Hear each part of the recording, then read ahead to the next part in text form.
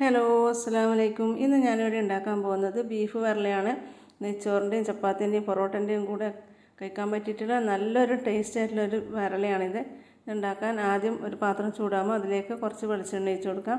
അതിലേക്ക് ചെറിയ രണ്ട് കഷ്ണം പട്ട രണ്ട് ഏലക്കായ് രണ്ട് കറാമ്പ് ഒരു സ്പൂൺ ചെറിയ ജീരകം ഒരു സ്പൂൺ വലിയ ജീരകം പെരുംജീരകമാണ് ഒരു സ്പൂൺ മല്ലി ഒരു സ്പൂൺ കുരുമുളക് ഒരു പത്തല്ലി വെളുത്തുള്ളി നാല് കാശ്മീരി മുളക് നല്ല എരിവ് വേണ്ടവരാണെങ്കിൽ രണ്ട് കാശ്മീരി മുളകും രണ്ട് നല്ല എരിവുള്ള മുളകും ചേർത്ത് കൊടുക്കാം. ഇതൊന്ന് വഴറ്റിയെടുക്കാം ഇതിനകത്ത് ചൂടായി വരുമ്പം ഇതിലേക്ക് ഒരു മീഡിയം സൈസ് സവാള ചെറുതായി അരിഞ്ഞതും കൂടി ചേർത്ത് കൊടുക്കാം. പിന്നെ സവാള ഒരു ബ്രൗൺ കളറാകുന്ന വരെ വഴറ്റിയെടുക്കാം. ഇപ്പം നല്ല ജീരകത്തിന്റെയൊക്കെ ആ ഒരു മണം വരുന്നുണ്ട്. ഇനി നമുക്ക് ചൂടാറിയതിന് ശേഷം അരച്ചെടുക്കാം.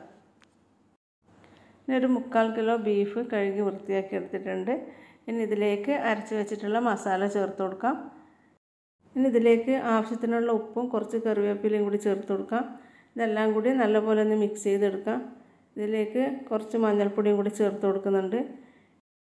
ഇനി ഇതെല്ലാം കൂടി നല്ലപോലെ മിക്സ് ചെയ്ത് ഇറച്ചീന്റെ ആ വെള്ളം ഇറങ്ങി വരുന്നവരെ ഒന്ന് തിളപ്പിക്കുക അതിനുശേഷം കുക്കറിന്റെ മൂടി അടച്ച് വേവിച്ചെടുക്കാം.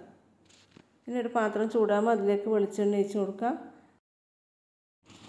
ഇനി ഇതിലേക്ക് രണ്ട് മീഡിയം സൈസ് സവാളയും രണ്ട് തക്കാളി അരിഞ്ഞതും കൂടി ചേർത്ത് കൊടുക്കാം. ഒരു പത്തല്ലി വെളുത്തുള്ളി ചെറിയ കഷ്ണം ഇഞ്ചിയും കൂടി ചേർത്തതും കൂടി ചേർത്ത് കൊടുക്കാം. ഇതെല്ലാം കൂടി നല്ലപോലെ ഒന്ന് വഴറ്റിയെടുക്കാം ഇനി ഇതിലേക്ക് ആവശ്യത്തിനുള്ള ഉപ്പും കൂടി ചേർത്ത് നല്ലപോലെ ഒന്ന് വഴറ്റിയെടുക്കാം ഇതിപ്പോൾ നല്ലപോലെ വഴറ്റിയെടുത്തിട്ടുണ്ട് ഇതിലേക്ക് ഒരു സ്പൂൺ കുരുമുളക് പൊടിയും കുറച്ച് കറിവേപ്പിലയും കൂടി ചേർത്ത് കൊടുക്കുക. ഇത് നല്ലപോലെ ഇത് മിക്സ് ചെയ്ത് ഇതിലേക്ക് വേവിച്ച് വെച്ചിട്ടുള്ള ബീഫ് ഇട്ട് കൊടുക്കുക. ഇതെല്ലാം കൂടി നല്ലപോലെ ഒന്ന് മിക്സ് ചെയ്ത് കൊടുക്കാം ഇപ്പോൾ നമ്മൾ ബീഫ് വെള്ളം റെഡി ആയിട്ടുണ്ട്. കുറച്ച് നീര് വേണമെങ്കിൽ ഇതുപോലെ ചെയ്യുക. അല്ലെങ്കിൽ ഡ്രൈ ആയിട്ടാണ് വേണമെങ്കിൽ കുറച്ചും കൂടി ഒന്ന് വരട്ടിയെടുക്കാം ഇപ്പോൾ നമ്മൾ ടേസ്റ്റ് ആയിട്ടുള്ള ബീഫ് വെള്ളം റെഡി ആയിട്ടുണ്ട്. എല്ലാവരും ഒന്ന് ട്രൈ ചെയ്ത് നോക്കുക. നിങ്ങൾ ആദ്യമായിട്ടാണ് എന്റെ ചാനൽ കാണുന്നതെങ്കിൽ സബ്സ്ക്രൈബ് ചെയ്യാത്തവരുണ്ടെങ്കിൽ ഒന്ന് സബ്സ്ക്രൈബ് ചെയ്യുക.